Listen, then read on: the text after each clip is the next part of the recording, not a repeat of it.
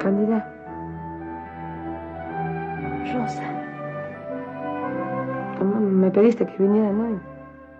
Bueno, me lo suplicaste, ¿no? Por eso estoy aquí. ¿Qué es lo que quieres de mí, eh? Gracias, Rosa.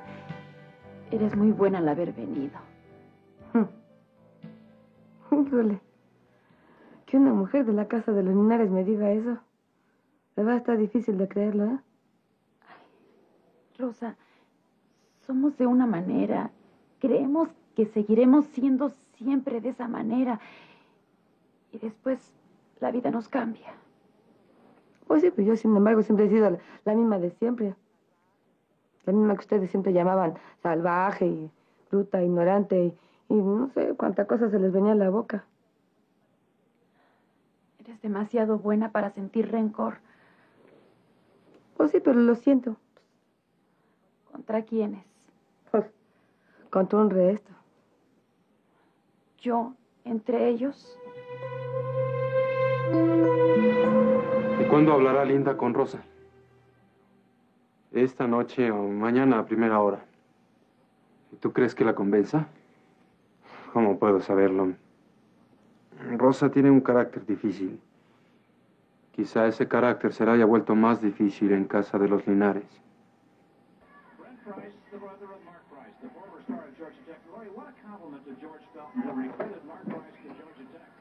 Hola. Hola. Vienes de verlo a él, ¿verdad? Vienes de ver a Rogelio Linares. ¿Cuándo vas a dejarme en paz? Cuando tengas el valor de reconocer tus actos. Salí a tomar un café con una amiga y ahora regreso. Eso es todo cuanto tengo que reconocer. ¿Y qué decir?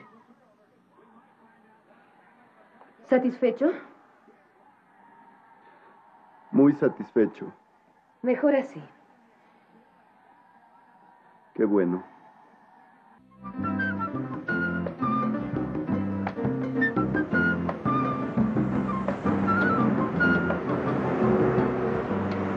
Oiga usted cómo suena la clave. Oiga usted cómo suena el bongo. ¿Me puede ir más temprano? Sí, linda. ¿Qué ha sabido del muñeco? Está muy enredado. Creo que nadie lo salva de la cárcel. Oiga usted cómo suena la clave. Suéltame. ¿Con qué derecho me tocas? ¿Qué quieres? Hablar contigo. La neta, Candida, ¿de verdad no me andabas tú haciendo la vida de cuadritos así tanta como las otras? ¿Eh? De todas maneras eres una Linares. Rosa. Rosa, debes conocer mi historia como la conoce todo el mundo. A mí sí me llegan las noticias, aunque no ande de preguntón ahí. ¿eh? La verdad es que ya a mí ni me importa nada de la familia Linares. ¿Ni siquiera Ricardo? Se sé menos que nadie. ¿Te hablaron de mi accidente? También sí. Perdí a mi hijo. Pues yo cuando lo supe sí me dio mucha tristeza porque... A pesar del daño que te hice. Bueno, pues es que a pesar de todo, de veras, tampoco no es un daño muy grande perder un hijo, oye. Sí, sí, enorme. No nació. Y sin embargo, tejía chamberitas para él. Ay, mejor, ¿sabes qué? No recuerdes cosas tristes, hija, porque... Para que no te pongas mal. Tú perdiste un hombre. Pues sí, pero mira, a mí ese de veras se puede quedar donde está y pues ya ni modo. Yo, en cambio, perdí un hombre y un hijo. Penas fueron mayores que las tuyas. La vida era fácil. Después fue una tormenta y ahora que la tormenta se tranquiliza, comprendo. ¿Qué? Que no merecías lo que te hicimos. ¿Sabes que soy capaz de arrepentirme? Yo todavía no me he arrepentido. Rosa. ¿Puedo pedirte perdón?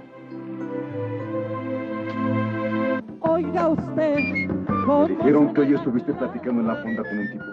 ¿Quién es? ¿Qué te importa? No me provoques, linda. ¿Quién es? Un amigo. diga usted El de anoche, ¿verdad? Quiero que sepas que de ahora en adelante tendrás los amigos que yo te permita. Ay, sí, no me digas. Mi voluntad es mía y nada tengo que ver contigo. Pero lo tendrás. Paz. No sigas molestándome. Oiga, deje a la muchacha que está trabajando. tú que sabes llorar. A ese le dije que se cuidara de mí. Mejor cuídate tú de la policía. Si no tiene nada que hacer aquí, ahí está la puerta. llévale mis tristezas y mis cantares. Tú que sabes reír, tú que sabes llorar. Tú que A ver, dime, Cándida, ¿tú por qué quieres pedirme perdón? ¿Eh? No, no puedo vivir con tantas culpas sobre la conciencia. Y, y quiero quitarme algunas. Puedo ser tu amiga. No es que mis amigos son la gente de mi barrio. Tú eres, tú eres de otra clase, hija. Inferior a la tuya. Ay, sí, no le hagas. que vas a ser inferior? Tienes de todo. Una casota, tienes un chorro de lana, un resto de coches ahí, las, todas las garras que te da la gana tener. ¿Y, y yo qué? A ver, ¿qué tengo? Un corazón muy grande. Nobles sentimientos. ¿No me das la mano?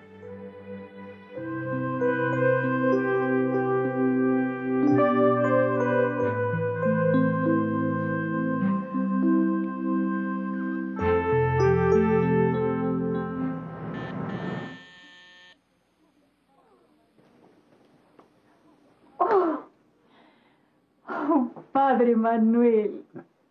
Oh, por favor, amable. Cuando don Ángel sepa que está usted aquí, se nos desmaya. Pero pase, pase, enseguida le aviso. Don Ángel, don Ángel, ¿Qué pasa, Amalia? acaba de llegar su hermano, el padre Manuel. ¿Quién? Gracias, Rosa. Soy una pobre mujer indefensa. Tanto que, que me haría bien recibir un beso tuyo.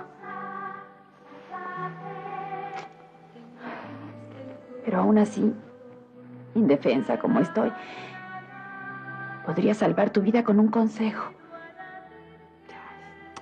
¿Un consejo? Tú y Ricardo no han dejado de quererse. No permitas que nadie te lo quite, Rosa. No lo permitas.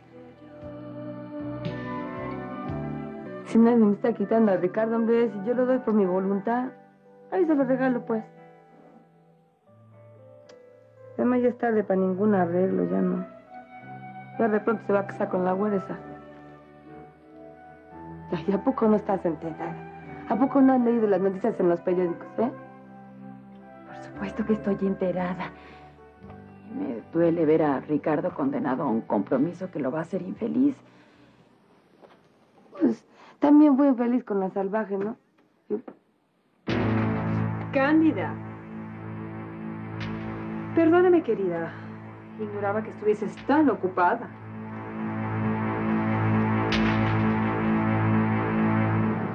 Manuel, hermano. ¿Cómo te va? ¿Cómo me puede ir cuando estoy otra vez en la patria? ¿Pero cuándo volviste? Hoy, hoy por la tarde. Llegué a tiempo para tu cumpleaños. Mm, 50 años ya. Sí, y no sabes qué joven me siento. Después te voy a contar. Buenas noches. Buenas noches, Leonela. ¿Y tú no sabes responder a un saludo? Me extraña que lo pregunto, oiga. ¿Que no está enterada desde hace mucho tiempo que soy una pelada? Por supuesto. Sobre eso no tuve la menor duda.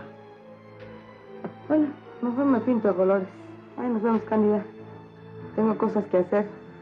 No como otras que andan por ahí todo el día de vagonetas. Ahí los vídeos. Buenas noches. Pero, no se crea, ¿eh? No se las doy a usted. Se las doy solo a Cándida.